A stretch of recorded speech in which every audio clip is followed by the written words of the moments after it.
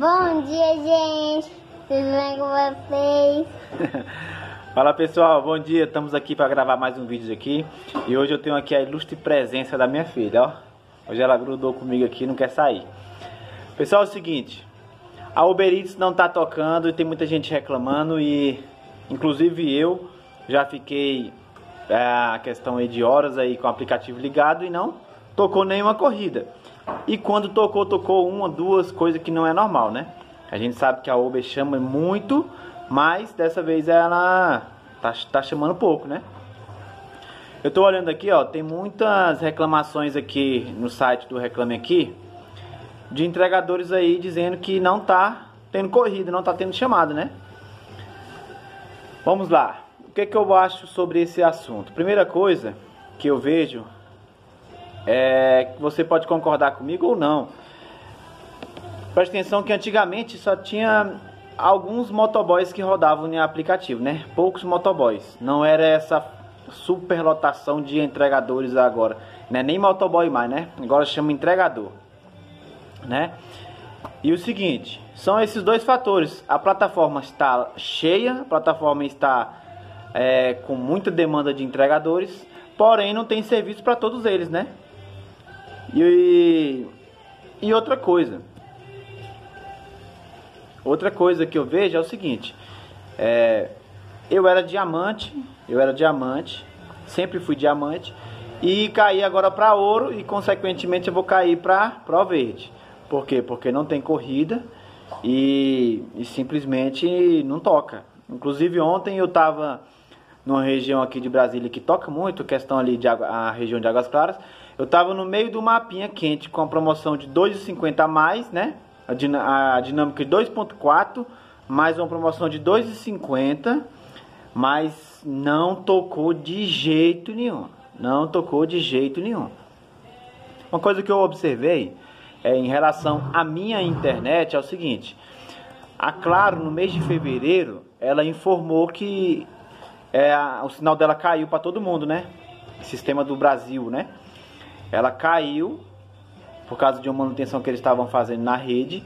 E desde que aconteceu isso o sinal meu ficou oscilando. Tanto que agora eu, eu fico é, indo para vivo ou claro. Vivo ou claro. A hora que tiver melhor eu ligo os dados móveis que eu achar que está melhor entendeu?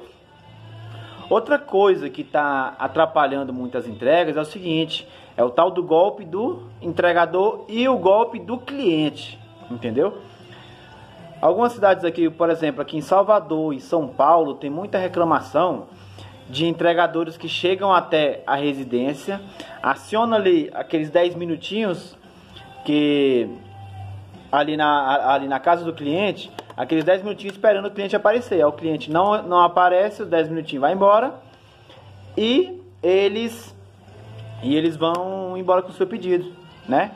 Eles cancelam o pedido porque não encontrou o cliente e fica por isso mesmo, né? Sendo que às vezes eles nem tentam entrar no, no chat para poder falar com o cliente ou mesmo ligar para o cliente.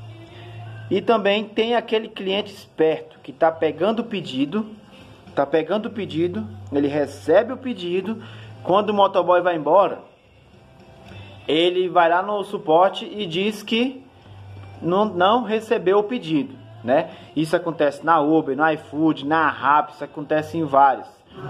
E a questão é o seguinte, aí entra o problema que o aplicativo ele não quer saber se você é motoboy, se você está certo, não. Se o cliente reclamar, meu irmão, ele vai ficar do lado do cliente. Você está entendendo? Vai ficar do lado do cliente. Agora uma coisa que eu quero que eu quero mencionar para vocês é uma, é, é uma coisa. Agora outra coisa. Preste atenção que tem muita gente, cara, é muita gente não tá conseguindo ter é, corridas, né? Não tá sendo chamado para fazer corrida. Será que não tem pedido? Tem sim. Olha só, a UB publicou uma nota referente aos seus resultados financeiros, segundo trimestre. É, a Uber Eats, só para vocês entenderem uma coisa, a Uber Eats, ela dobrou, ela dobrou em 2020 e agora ela já dobrou novamente, agora em 2021, os seus lucros em relação a Uber Eats. Coisa tal que ultrapassou os ganhos que ela teve com as corridas de carro, entendeu? Com as corridas particulares. Ou seja, aqui ela já se entrega. Corrida tem, entrega tem. A questão, a questão é que alguns entregadores estão sendo beneficiados e outros não, entendeu? Olha só, em março de 2020 ela teve um lucro, ela teve um lucro bruto de 10,2 bilhões de dólares. Entendeu? Isso equivale a 54,7 bilhões de reais. É dinheiro, meu irmão. É dinheiro. Entendeu? Olha só, as pessoas mais confinadas em sua casa, isso gerou mais entregas. As pessoas não querem sair por causa da pandemia, então elas chamam mais os entregadores, né? Beleza. Esse segmento de corridas de, de viagens particulares ele foi afetado um pouco. Só que em contrapartida, em contrapartida, olha só interessante. As corridas particulares elas caíram, elas sofreram uma baixa de 75% isso lá em 2020. Agora o delivery subiu 106%. Está entendendo?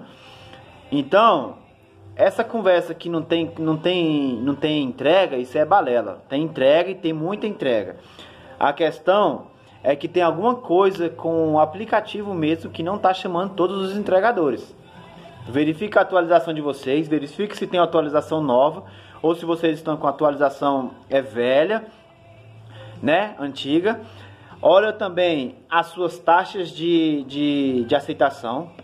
Procure sempre estar, em, em, sempre estar entre 99% e 100%. Cuidado com as avaliações que o restaurante faz sobre você e também sobre as avaliações que o cliente faz sobre você. Isso joga lá para o final da fila. Quando eu estava diamante, era só ligar o aplicativo e tocava direto. Agora que eu caí para ouro, tá quase chamando. Quando eu cair para verde, aí que eu tô preocupado, tá entendendo? Eu vou ter que trabalhar a conta novamente para poder é, voltar, chamar novamente. Beleza?